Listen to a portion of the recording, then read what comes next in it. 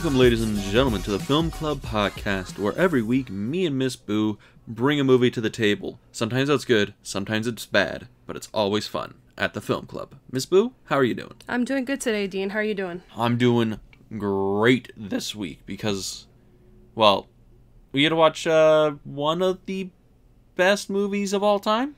Well, not only that, it's also July. So It is. we're kicking off July with a new theme month. We are, and this month's theme is Great Cinematic Heroes because, you know, July, America, 4th of July, Uh, Fourth of July is in a couple of days from now. it is. And uh, I think I picked a pretty good one this week to kick it off with.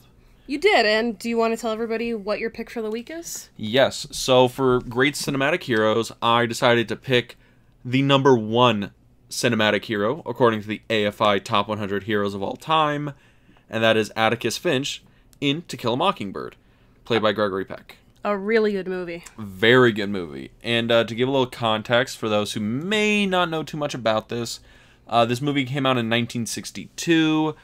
It was a really big success when it came out. Uh, it ranked in number six at the box office at the end of that year.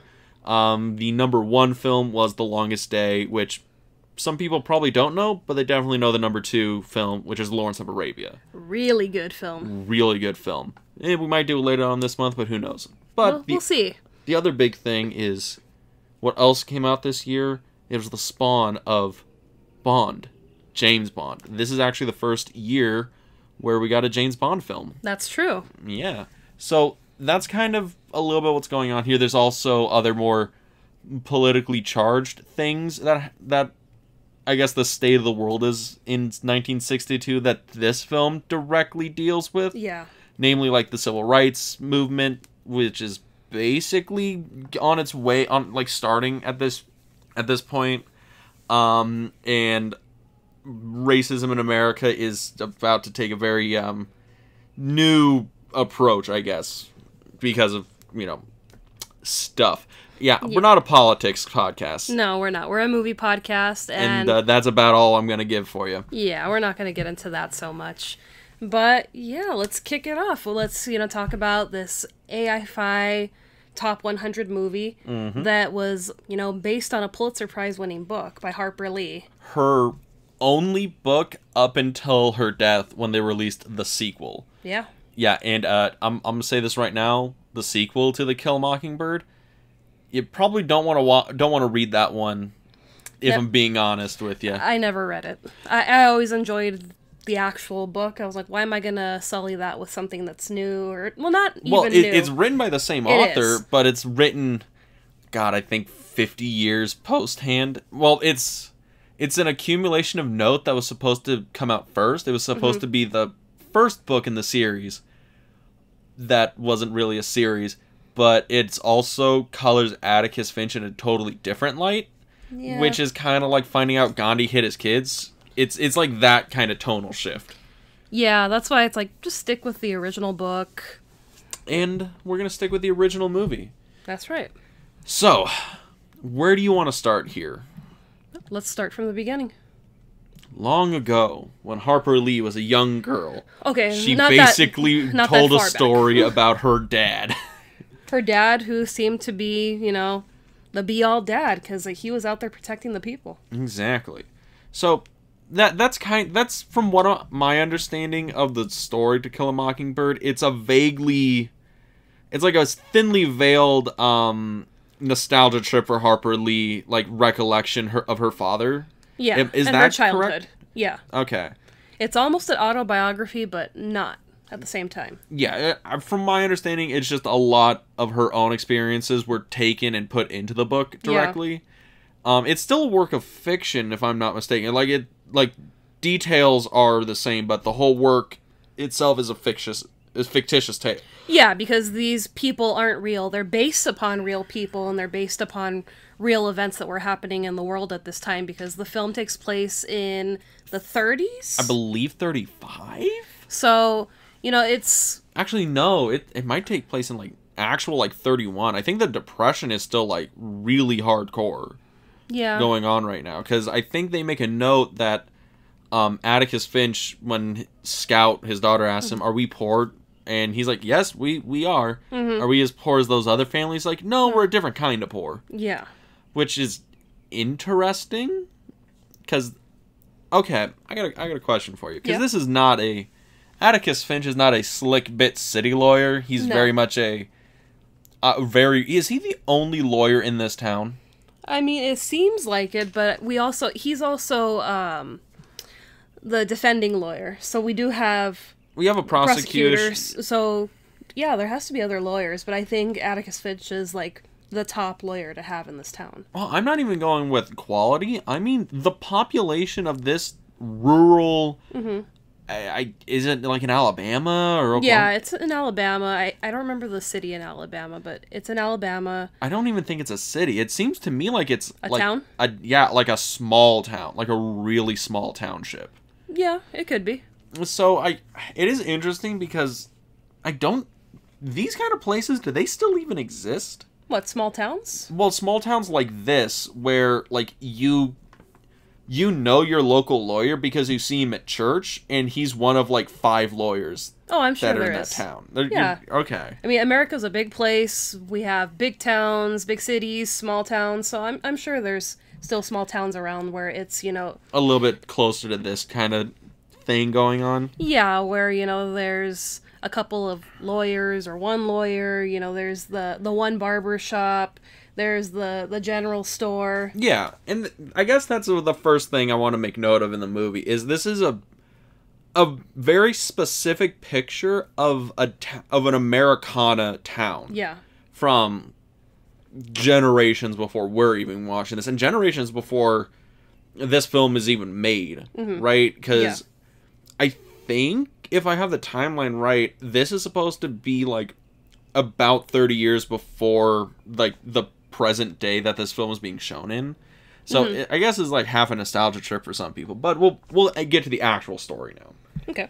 So Boo, we get started. It's the story of this little girl scout mm-hmm. and her brother Jem growing up in this depression era town while their dad Atticus is appointed to defend a black man against a alleged rape case. Mm-hmm.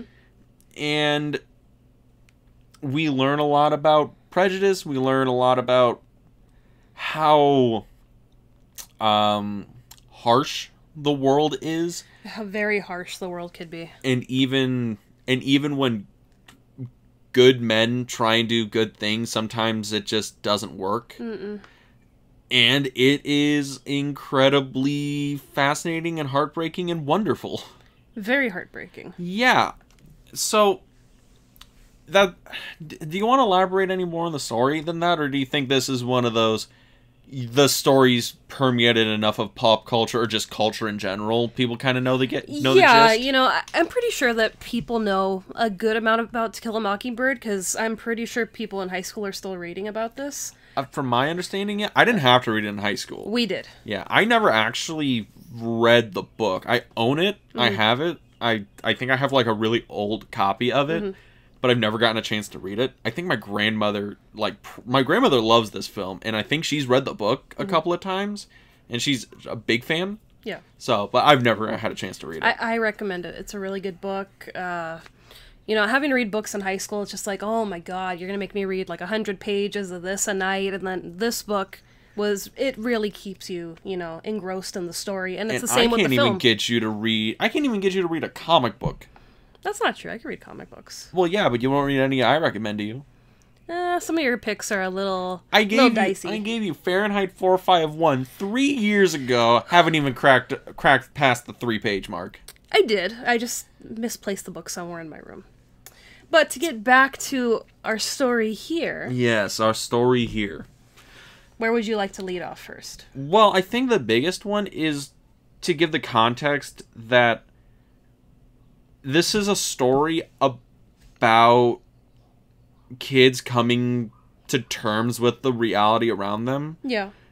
because Scout and Jem, they're like Scout's the main character. Yeah, right? Scout's the main character. And I think a lot of people get confused where they think, well, Atticus Finch, Gregory Peck, he, he's the main guy. He's Yeah. not really. I think I want to say Gregory Peck is only in this movie a cumulative maybe like 30 minutes, 45 minutes, something like that. Probably. Yeah, because we're supposed to be seeing the world through the, the eyes of the children of this town. Yeah, and I think that also goes into why Atticus seems like the best human being. Yeah. It's filtered through not only nostalgia that Harper Lee has for her like For her father. for her father probably and for like that kind of time in her life, but also in the filmmaking sense, we're seeing it also filtered through, you know, all these people who are like, we need to make this guy not only the ultimate like good dad character, Yeah. but just the most decent human being we you could find.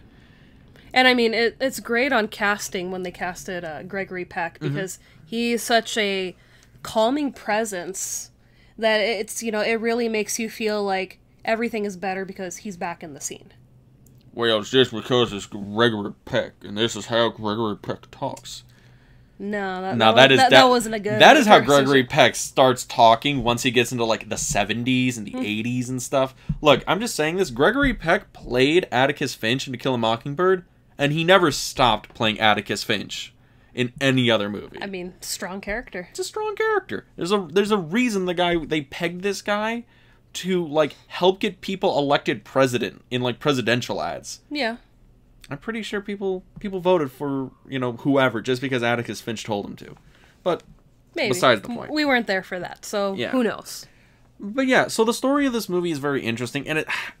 This is the thing. It's hard for me to talk about it because it's a little disjointed in some places because we have a whole story point Mm-hmm. about Scout hating dresses and having to go to school. And then we have the really important part that everybody remembers, which is the court case. Yeah. And I'm like, the court case is only like a third ish of this movie. Yeah, it's a very small portion of the film. Yeah. It's mostly about, you know, dealing with the everyday life of Scout and Jem and growing up. And it's, we don't come, you know, full circle where we see them grow into adults. We stay in their childhood. It, I think the whole movie only takes place over the course So, of like a a year, I think. I think so. Like one summer, like one summer to to the next, mm-hmm. and it is fascinating because they get into their hijinks. You know, meeting the new kid uh, in town, Dill. Dill. Which okay, we watched this movie together. yeah. Which I know we don't usually watch a lot of movies for the podcast together, just due to schedule and like us. We both have to try and chill out time to watch these. Yeah. But I did notice every time Dill came on screen, that was the moment I noticed Boo look at her phone. Did you just not like Dill? No, I've just seen this movie a handful of times that I'm able to know what's going on. Oh, oh, I see, I see. Yeah. But on on the other and I also I'm also taking my notes during the movie too. yes. But again, did you like Dill? Yeah, I like Dill. I mean, I felt sorry for him that, you know, he's always making up a story about his dad who, you know, he became wealthy with the railroad and someday he's going to come back and pick him up, you know, whether in his plane or on a train. Right. It- that I was gonna ask you that because it's implied that like He's a Dill's a- latchkey kid. no, he's abandoned. Like he lives with his aunts. Like I think his well, dad he just comes for the summer. He comes for the summer. Is that what it is? Yeah, that's his thing. They send him out there for the summer so he can spend time with his aunt and his uncle. But we never really hear anything about his mom. We just hear about my dad's going to come back. So, Because okay, is his? That's I guess that's what I'm asking. His dad's out of the picture, yeah, right? Yeah, his dad's out of the picture. okay. And that's one of the parts with, you know, Jem in the beginning when they first meet Dill and she's, you know, don't boo, not boo. Uh, Scout. Scout. I don't know why I always want to call her boo. Because well, well, Boo. Yeah, We're gonna get It- to it- Boo Bradley soon. Yeah, it's a little confusing with all the boos in the room. Yeah. So, uh, when Scout and Jem first meet Dill, and he kind of tells them, you know, my dad, I haven't seen him in a while. And Scout's, you know, you don't have a dad. And Jem kind of has to hit her and say, you know, not everyone is in our position where we have a father. I mean, they don't have a mother. They don't have a mother. So it's kind of reversed where, you know, they don't have the other parent, but they're not making up stories about, you know, someday she, she'll come back well, instead of granted, they're She- they live in the town. Dill don't. I know, but they could have. She could have lied to him. You know, oh, she's you know, gone on business or gone on an adventure or something. It's you know, I just it kind of nail in the coffin. I just think it's interesting how how stark the world is that they're building here. Cuz it's it's very open with the fact that this town in you know rural Alabama is on the surface that we're seeing, you know, where in the neighborhood Atticus lives in. Oh yeah, you know, this is kind of fine and then you have the then you kind of notice there's no there's no black people in town at all. And then we keep going and then we find out that if you're African American here, you live in like the shanty towns outside of town that is apparently very far. Like they have to like Atticus has to drive out there. Yeah. It's not like a, a brisk walk. And like that's also like the poor side of town because that's where our um oh god the the most evil name in all of in all of uh, Oh, film I- history. I hated that guy. What was his name? I, I think well okay I know his name is Robert E Lee something I just can't remember his last name. Sorry, guys, we're on IMDb. Yeah, don't worry, don't worry. It's probably further up. No, it's Ewell. Robert Oh. E Lee Ewell. Bob ewell Yeah. And that's the and that's a thing. When your name is Robert E. Lee anything, mm-hmm. you're you're the paragon of racism in, in the film, right? Yeah, and this guy is like bona fide racist in this movie. Oh yeah. I think he's the only person who uses the N-word in the entire film. I believe so. Yeah. But I mean, he's not only racist in the film; he attacks children. yeah, he beats up kids, he's a drunker, he's he's a vile person and it that juxtaposition with Atticus and Gregory Peck's performance just makes Atticus looks like such a better person because like we we know that oh Atticus he's a quiet guy, he's Yeah. very subdued. But then Ewell spits in his eye and Yeah. we're expecting oh this is finally when atticus is gonna take like punch this guy out Mm-hmm. he's been this like mean evil rude racist he's responsible for sending robin tom robbins Tom Tom Robbins, yeah, Tom To- Robinson.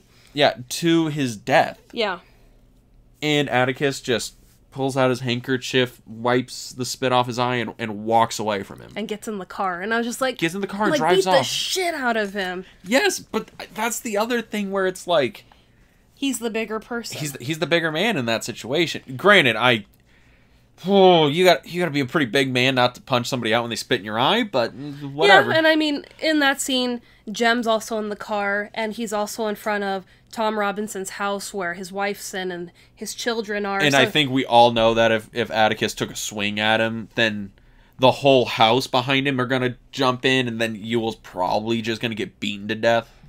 which he deserved. Well, yeah. I mean, okay.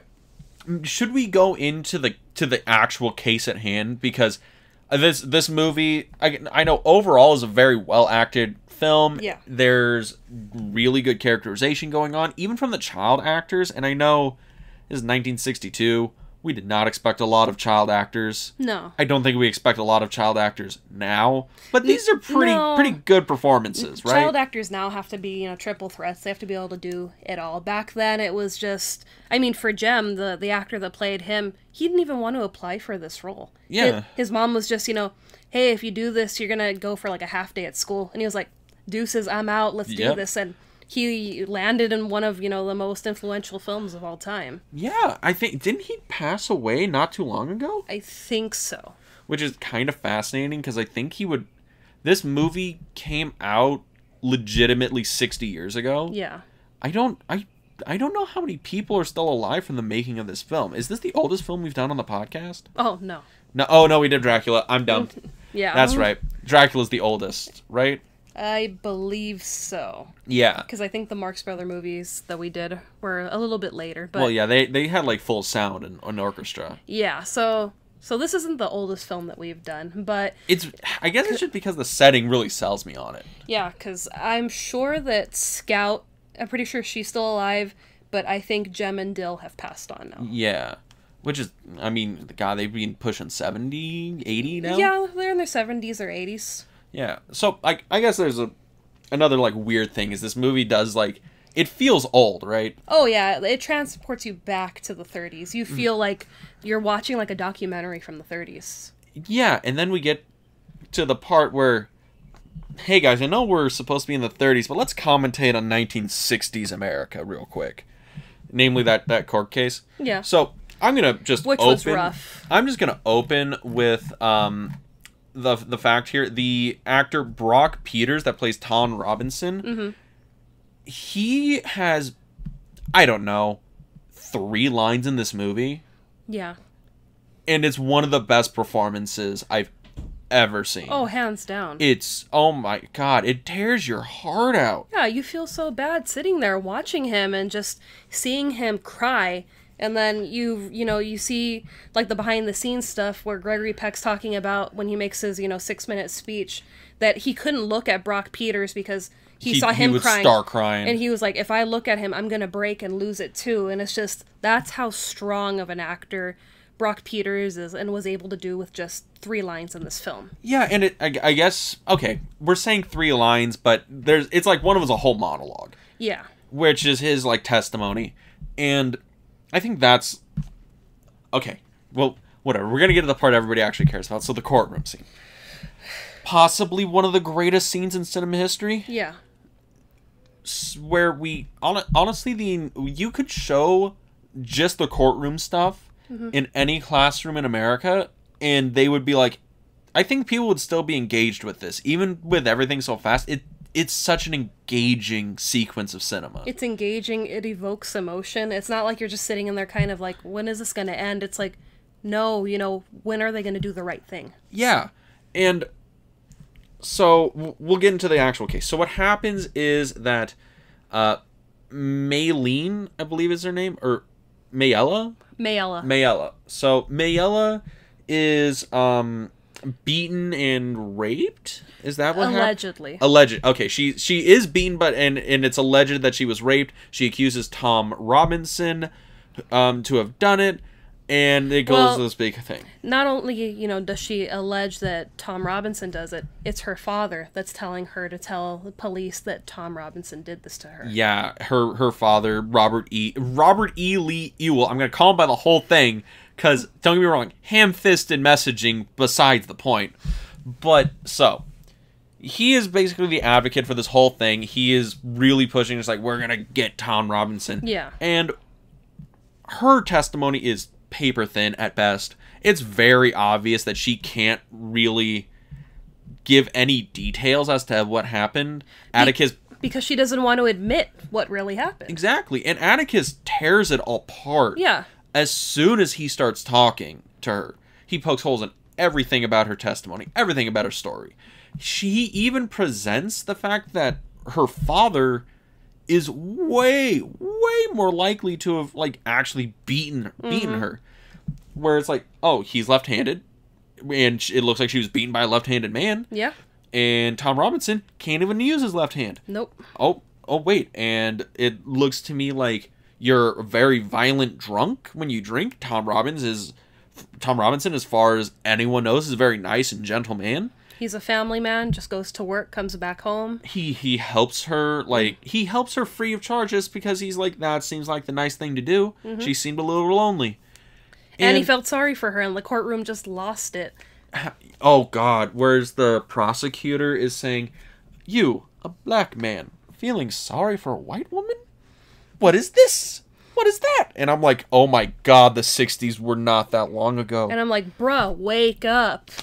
oh yeah and then tom robinson gives his testimony Yeah. is this is this the part that chokes you up Every time. every single time Just gut wrenching.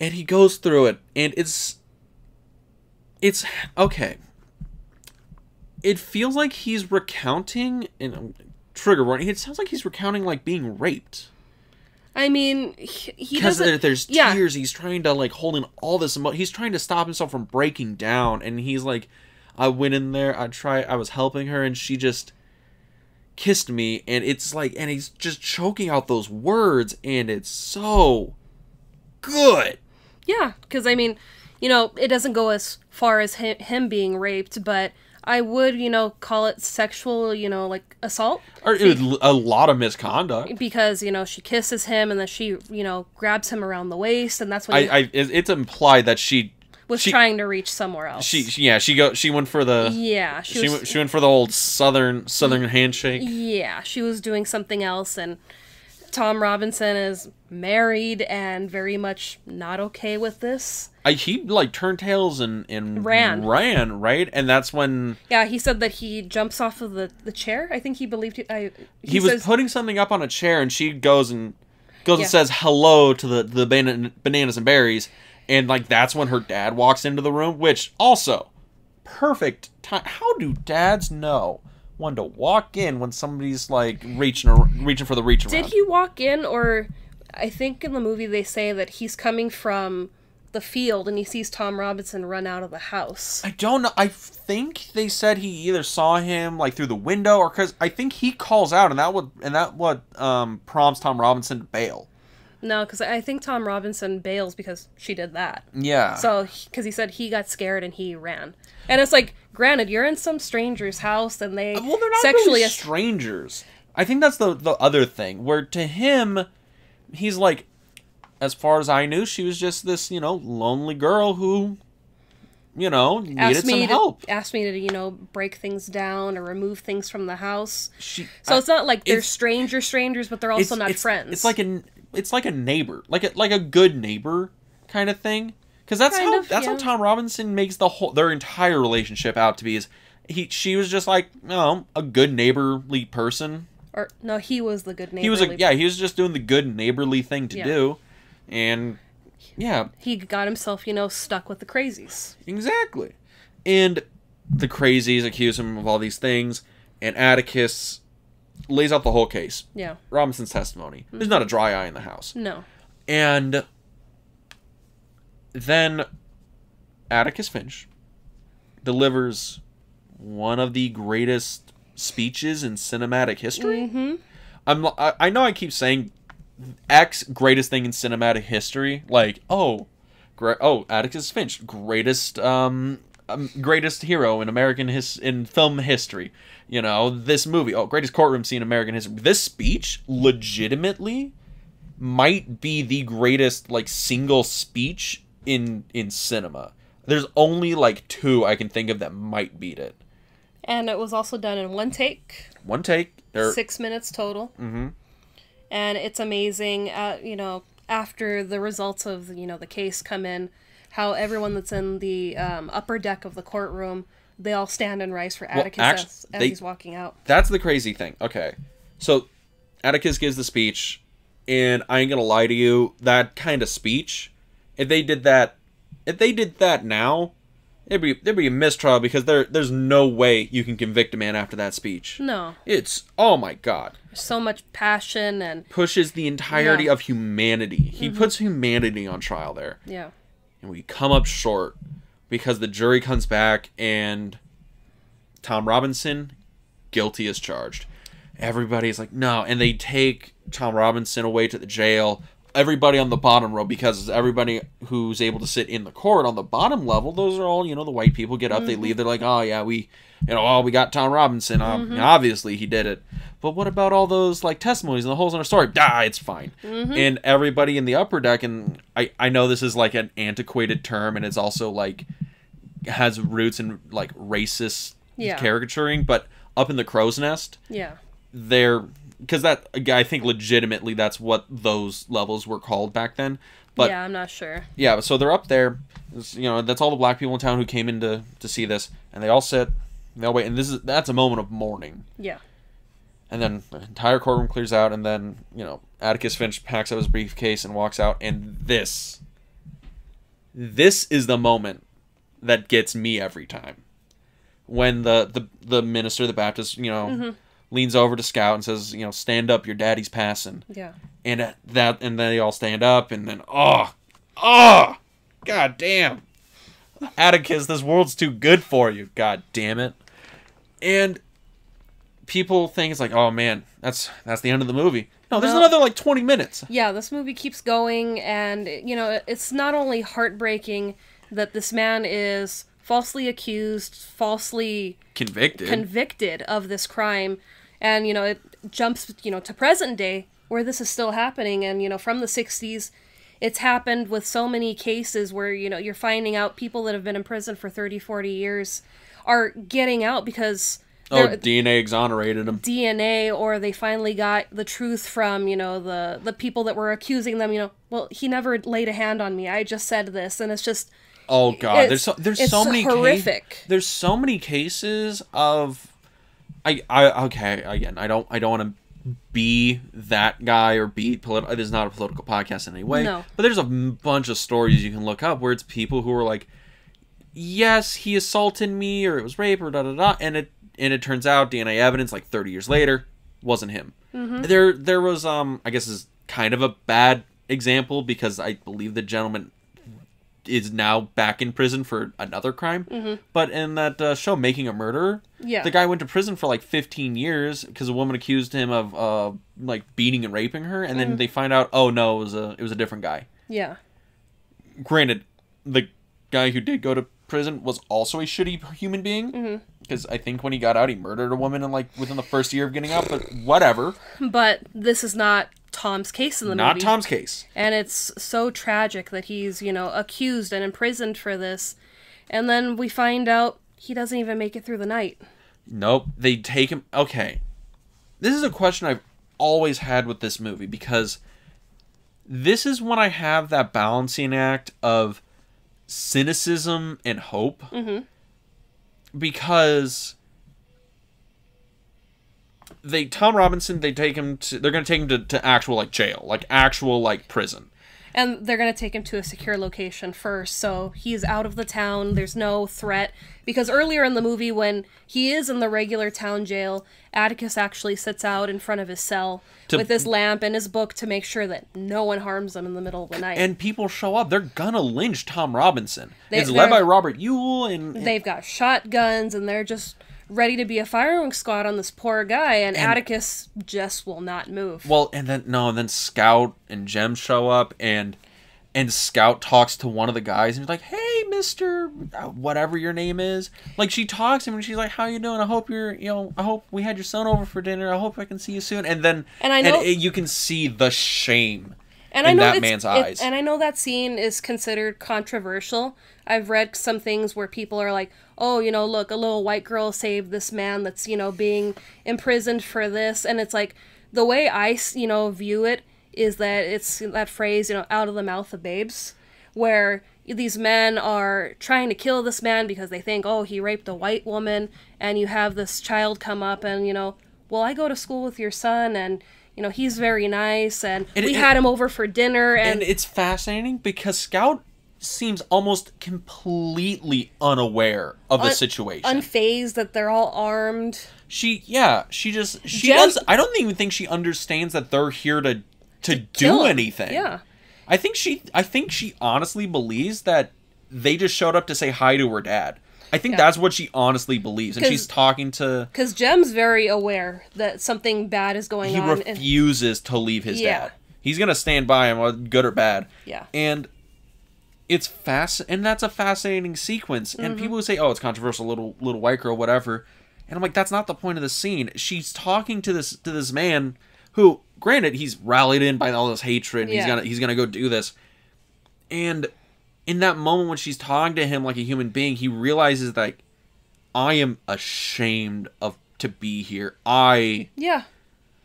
every Because everything in my being right now was full of hate not 5 minutes ago and I I am horrible for being here with with these people. And Yeah. he and he prompts everyone to leave. He just leaves. He's like I He just I'm turns going around. home. yeah, because uh, we can't think of the character's name right now, but earlier he in only the film, shows up for this scene and then right at the beginning. yeah, um, we see him in the very beginning of the movie and for this scene. But there's also an altercation with Scout and his son, Mm-hmm. where she beats him up in the middle of the schoolyard because. I don't know. He was where he didn't, you know, He was making fun of her in a in a in, a, dress, Yeah. and you know he was in beat up overalls compared to some of the other kids that were other boys that were wearing suits or you know better quality overalls and Jem was just kind of like they don't have money. You know, They're they're poor. they're- They're, dirt poor. Yeah, People so- don't understand what dirt poor is. Yeah. You don't understand dirt poor until you live in a barn in Alabama. That's real dirt poor. yeah, and that's when they invite him over to have dinner with them, and he's just so excited to be there for dinner, and he asks for syrup because he's gonna put them over his pork chops. He puts them all over everything, and, And- and Scout has a whole thing yeah, about it. she she gets so upset, and Calpurnia pulls her out into the kitchen, and she's just like, "You don't know what it's like to be in someone else's shoes." And if he wants to, you know, eat the the tablecloth off your table, he is your guest. You let him do that. and it's it goes in. This movie is about just like there's like a whole acceptance thing going on Yeah. here, and okay, we got to get to the to the end of the movie here because the end of the movie is where everything kind of reaches its its head, right? Everything just explodes. Yeah, and it starts with Scout going to her school pageant dressed as a fucking ham. She's literally a ham. literally a ham. And her and her brother Jem, they're going back. They're walking through the woods to get back to to their house, and, And- then Boo, or Boo, sorry. Scout is in her ham costume because someone Stole her takes, clothes. takes her clothes from the school. So irrelevant. She's in a ham costume. yeah, so and then after seeing once she takes the costume off, it's like, why couldn't you walk home like that? It's dark. It was the 1930s, and those were considered undergarments. that and it's like your brother's with you. He can't give you your, his coat. It's gonna, you know, at least is go, the 1930s. That is considered improper, I guess, even though they're walking through the woods to get home, but and that leads to them getting attacked. attacked in the middle of the night in the woods and you know you're just thinking what the hell is going on here you know even you know this It's even small town filmed weird. It's even filmed to show you as little as possible. yeah and i mean we see it from scout's perspective too where she's seeing out of the ham costume and it's just this small cutout around her eyes so she can't see on either side of her she can only see straight ahead Yeah. and it's just so disorienting seeing jem getting beaten up and not knowing who's doing it not even knowing what's really going on. She's Yeah. just hearing a struggle, and then, And then she gets somebody else comes. Yeah, she gets thrown. Then somebody else comes in after Jem gets knocked un- knocked unconscious. Yeah. and there's another tussle, and then uh, this person who comes in and, and saves them basically carries Jem Jeb home to, To the house to Atticus and. And scouts like they're they're trying to they're talking to the sheriff like what's going on la la Mm-hmm. la la and we find out what happens is that Robert Robert Ewell, Robert E. Lee Ewell, again, Hmm. yeah, that guy got pissed drunk and wandered out into the woods and he's kind of like I'm gonna beat them them kids. Atticus didn't give me the satisfaction of a fight, I guess, Mm-hmm. and taking out on his kids because he's an evil bastard. yeah And this character that we have not seen yet in the movie, but he's been mentioned, he's been talked about. Um, Boo Radley, who is, the, the neighborhood boogeyman. yeah, which is is fascinating because all the parents acknowledge that yeah, Boo Boo is a real thing. He Yeah. lives in the the Radley house. He doesn't come out. You stay away from that house. yeah, It, it's like any neighborhood where you know your parents tell you, you know what, stay away from that house. Don't deal with the people that live in that house. there, yeah, You know, so we can all identify with that. You know, having the the haunted house or the scary house or you know the killer that lives down the street. yeah. Which ninety nine point nine percent of the times is utter bullshit. Yeah. your parents just don't want you going into an abandoned house. Pretty much. But this one's real, and the. Boo Radley, like the scout, has been like leaving little knickknacks in like the tree outside of the house. Well, no. Uh, Uh, Boo- Boo's Boo- been leaving Boo's knickknacks. leaving it, and Scout's the one that's been finding these little things in the tree. And we meet Mr. Radley, who decides to cement over the tree. Mm-hmm. And we're hearing, you know, from the parents, stay away from the Radley. So it's not like just stay away from Boo. Also, stay away from the parents. Yeah, and, And we you're- and we you're- find out why. Yeah. because we find out that Boo Radley um, was, I guess, following the kids or wandering around in, at night because that's the only time he goes outside is at Yeah, night when yeah. no one can see him. And he hears the struggle, goes in, and he kills Robert Ely Ewell. Yeah. you know, defend, defending the kids. Yeah. And he picks him up and takes him home, and we find out the reason why you know the parents all know it's like, hey, don't go over to the the Radley house, Mm-hmm. don't go near Boo, is because he's he's mentally deficient. He's um I don't know what it is exactly. From what I was reading, some people are thinking maybe he's like on the, the spectrum of being autistic. Some maybe. I- So- it'd be pretty severe because he doesn't speak. He's very much like he doesn't seem to be that in the moment as to like what's going on. He's not really engaged, and you know, again, this being the 30s, I don't know when autism was discovered. Well, put on a put on a like a medical spectrum. It's Yeah. probably a, like it's probably been a thing. It's just again like we've widened the spectrum since then. So he Yeah. was probably just considered again um men, like mental. Uh, I think the term was mentally defective. Yeah. And this is also 1962. It is is still 60 years ago. Yeah, there, there was a lot of medical information that still needed to be discovered and fine tuned. But and it goes into this great thing where the sheriff and this is my thing you know the cynicism and hope because with tom robinson's death you know we have that's that's like cynicism it's like i don't have any hope in humanity and then the sheriff when you know atticus is like look we'll take this to court there's no this man will get off on self-defense clear case. Mm-hmm. And the sheriff is like look your boy was unconscious. Your daughter said she didn't see anything. Mm-hmm. And atticus is like but justice will prevail. And the sheriff's like justice has been served. Just let him go home. Yeah, and that that's the moment there where i'm like there's there is that tinge of hope in humanity there where the sheriff's not going to charge Boo, Boo Radley no. and it's like that comeuppance moment in the movie where it's like, oh, oh Robert E. Lee Ewell, that old nasty racist guy, his comeuppance. But it's like it's still really bittersweet, right? Because it Yeah, comes at the cost of the innocence of this, essentially this giant child. Yeah. The innocence of him, the innocence of Jem and Scout, uh, Tom Robinson, who had to lo- lose his life because, you know, Robert Ewell accused him of raping his daughter. So Yeah.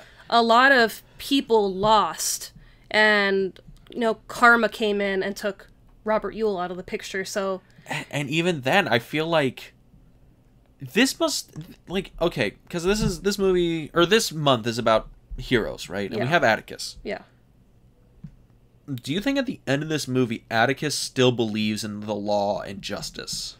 I think he does, but I, I don't think he sees it as, you know, that it's one way or the other. There's, you know, there's a bit of grayscale in between it. Okay, because I wonder if that's the arc for him. Because I feel at the beginning that he's like, there's there's good, there's bad, there's black, there's white, and then throughout the film, he learns that there is gray in there where Yeah. You don't always find justice in the law. Mm-mm. Which also goes into like a really weird thing about vigilante justice, but I, again, not a politics podcast, Yeah. not about that shit. But yeah, so I guess that that's that's my thoughts on the movie currently. Yeah, and, you know, we also get Atticus, who is very straight laced and, you know, you do as I tell you, you do as Calpurnia tells you, and we kind of see him start to break as the movie goes, and the only time we ever really see him lose it is when he finds out that Tom Robinson has passed. Yeah, Because, I mean, you know, he tries to be as strong as he can. He doesn't hit Robert Ewell when he really wants to, but as soon as he finds out that news, he breaks he's yeah. he breaks and then we see him you know turn into a frantic parent when uh, jem's brought home you know beaten up broken arm so we really see him kind of become you know less you know straight laced to real person I think you feel, and that's interesting because all right, I don't know about you, but there is that kind of aspect when you think about your parents from when you were a kid, mm-hmm. and your parents are super. You're like your your dad is Superman when you're a little kid, or your mom's you know Wonder Woman when you're a little kid. And I wonder if this movie is the story of Scout realizing her her dad's not Superman. he's a real person Yeah. And yeah, yeah, go, go, go, cinematic dads, go there. All right. yeah and you know we kind of leave the movie with atticus not only being the hero in the movie because he's not the only hero we have he's the hero uh, tom robinson who you know faced trial faced the ultimate sacrifice I don't, I don't know if I would. That's that's the thing that keeps coming back to me because the sheriff says, "Oh yeah, Tom Robbins took like ran. We told him to stop. He didn't. I, we fired a shot to stop him, and we killed him on accident." and how Is do that, we how do we know that that really happened That's the question. Did it? that's what we don't know we and don't that and that's the and that's a part of this movie that I almost don't ever want to know the answer to. Yeah, because it would be too heartbreaking to know that one of the cops just laid him out right then and there, and oh yeah, he tried to run. Or or, or he actually did try to run. He didn't. He it could have been a thing where he's just like I have no more faith in this society anymore. He has no more faith in Atticus, and he's like I'm just gonna, I'm just gonna, just run and see how far I can It's not get." even faith in Atticus. It's just faith in society. You know, it's I'm always going to have this red mark on me. I got to get out of here. I got to get my wife and kids out of here and protect us. So that's why I deem him a hero because he had to face this horrific thing to be faced with and he paid the ultimate price, but at the same time he seemed to be, you know, a loving husband and a loving father who was just trying to do right by his family. and it's fascinating. It's fascinating we get that when again he only has like three lines in the movie. I don't think he really talks about his, himself. No. He, he does he does my testimony hi- like his great testimony. Mm-hmm. Yeah. He ha- he talks to Atticus for like a little bit, and I think that's it. That's bu- more more or less Mm-hmm. his entire like on screen persona. Everything else we draw from him is kind of what other people say about him, Yeah. and it's again fascinating. There's not a bad performance in this movie. And I deem my third hero, uh, Boo Radley. Yeah. Because he was this, you know, ghost, this menacing figure, and at the end of the day, he really wasn't that person. He went out and he saved two children from Granted, he's a drunken he- rapist. It's true. Granted, he did it. It's also said he he knifed his dad for you know stopping playing with his toys. So Yeah. he I think Boo Radley is actually dangerous, but Yeah. I think in this instance, like I I couldn't heart seeing another trial case with with that going Mm-hmm. on, because that would I think that would be the case if Atticus did take it on Yeah. and it went the same way as Tom Robinson. That that would break him. Yeah. But yeah, Boo. So I final thoughts. Great movie. Heartbreaking movie. So if you plan on watching it, haven't seen it, bring a box of tissues. Yes, and honestly, I think this is again probably is the greatest cinematic hero I could think of because again, Atticus Finch, like I said at the beginning, he's not Superman. He's not a fantasy knight. He's just the epitome of a good, decent man. And, I'm gonna call it heroes because I think there was more than just one hero in this movie once we got to the very end. Well, I thought you were going to say it because of next week, Boo. What are we going to be watching next week? Well, next week we're not going to be so serious. I think this is the only serious film in this uh, theme month of ours. Yes, because I was tired of watching blockbusters and fancy stuff. I wanted to I wanted to go back to my roots, black and white pretentious films. AFI Top 100, Yes, ma'am. Oscar winning, Pulitzer Prize winning. But next week is a different story because there's going to be a little bit more adventure next week. So make sure you bring your hats and your bullwhips because we're going to be talking about Indiana Jones Raiders of the Lost Ark, which is celebrating a big anniversary this month, or this year actually. Yes, it is. And honestly, I cannot wait. I have done Raiders of the Lost Ark on a different podcast, the Double Feature podcast. it was, our first episode. That was your first episode. Yes, we did Back to the Future and Raiders of the Lost Ark to debate the best 80s blockbuster. And in that in that one, you know, Raiders came a little short in terms of the best of the 80s blockbusters because I advocated for Back to the Future to Well, my of dying course bre- you did. I give an Atticus Finch style style speech in that in that podcast. I remember that episode was like two, three hours. yes. But I'm very excited because I do love me some good Indiana Jones. Me too. He's a teacher. He kicks ass. Looks good in a hat. Nazis. He does. So yeah, but where could they listen to us if they wanted to catch that one next week? Well, if you want to follow us on social media, we are on Instagram and Facebook at the Film Club Podcast. And if you want to listen to us on a different platform than you currently are, we are on Anchor FM, Apple Podcasts, Spotify, and just about everywhere the podcasts are streamed. Would you like to plug your other podcast? I think I already did, but I'll do it one more time. You can also listen to me on the Double Feature Podcast or the Double Feature Picture Show. You can find that on our YouTube channel, In the Frame. And on there, me and my buddy David basically bring two movies together, compare them, contrast them, talk about them in context with each other, and kind of what they do in terms of like cinema, cinematic language, and their place in the culture. I think the biggest ones we're doing for the month of July is sci-fi, and I think our first episode this month is gonna be something something complete. I don't know. I forget things. It's gonna be good. I know we're doing Wrath of Khan and Empire Strikes Back because I just watched those ones, and I'm very excited. Well, we'll catch you next week at the film club. Peace.